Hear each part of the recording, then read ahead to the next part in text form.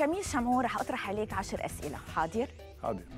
نشرت تعليق عن حرب غزة وكنت قاسي فيه وقلت بالتحديد كل نقطة دم لشهيد لبناني بتسوى فلسطين كلها. ليش بتوحي أنك بعدك عايش بحرب السنتين؟ بيكفينا اللي صار بال 2006 تا ما نرجع نعمل ذات الغلطة. وبعدنا بنعمل ذات الأغلاط وبعدنا بندفع ثمنها. بقى هيدا كان تحذير للناس تيفهموا إنه ما إلنا شيء بهالحرب هونيك. صحيح إنه بنتضامن مع الشعب الفلسطيني والمأساة يلي عم بيعيشوها لكن نحن عنا مأساتنا وعنا مشاكلنا. بقى خلينا نتفضل نحل مشاكلنا قبل ما نروح نفتش على مشاكل غيرنا. ليش محيت هذا التعليق على إكس؟ مش أنا محيته. شو صار؟ ما بعرف إذا إكس شالوه أو شيء من النوع أنا حطيته بكل قناعه يعني مع إنه بعرف إنه صار في كتير ردات فعل وصار في كلام بذيء يعني. لكن هذا هذا رأيي وبعتقد لبنان دفع كفاية ثمن القضية الفلسطينية أكثر من أي دولة عربية أخرى. لو الرئيس كميل شمعون بعده على قيد الحياة شو برأيك كان الرسالة اللي وجهها لحزب الله؟ ضبوا سلاحكم. سلموا سلاحكم للدولة. مين قتل داني شمعون وعائلته؟ آه اللي قتل داني شمعون وعائلته آه حدا مأجور من السورية إذا مش السورية هن ذاتهم. يعني مش سمير جعجع. آه يعني الأرجح لا. كميل شمعون تيمور جنبلاط سامي جميل وتوني فرنجي أحفاد لسياسيين كبار أسسوا أحزاب كبيرة. شو تقييمك لهذه التجربة؟ وهل نجحت؟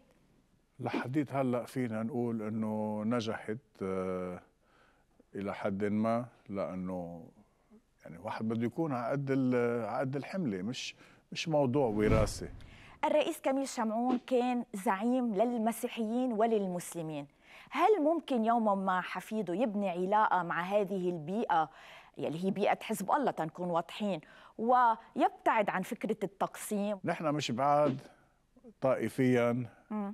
عن حدا لأنه نحن نفسنا وطني أكثر ما هو نفس طائفي.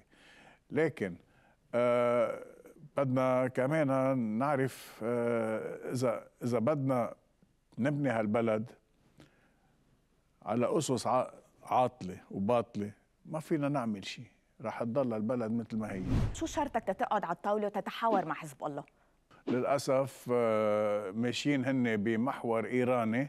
النهار يلي بي بي بيحطوا إيران على جنب آه وبيبلشوا يحكوا لبنانيا شو مصلحة لبنان ووين مصلحة لبنان خلينا نرجع نبني هالبلد كلنا سوا نحن حاضرين.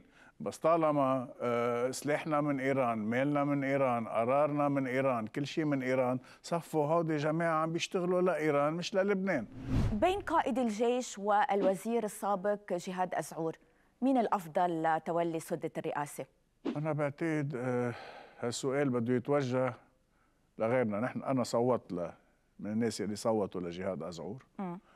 قائد الجيش بعد ما انطرح رسميا آه كمرشح مع إنه في صداقة آه. صداقة قديمة بتربطني فيه صداقة شخصية.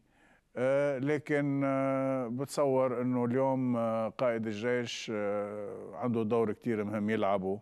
عم بحكي كقائد جيش.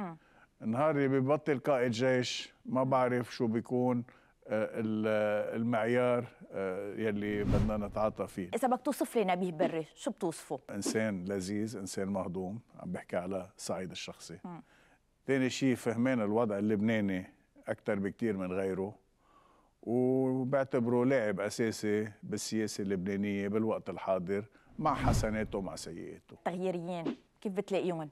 منيح على قد المستوى أو لا خيبه أمل؟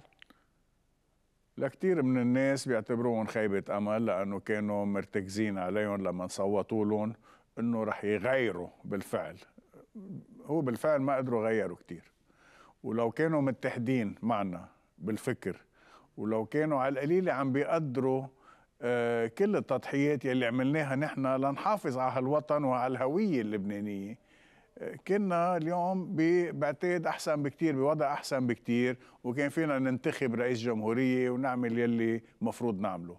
كميل شمعون جاوبت على عشر أسئلة. شكرا لك. ميرسي لك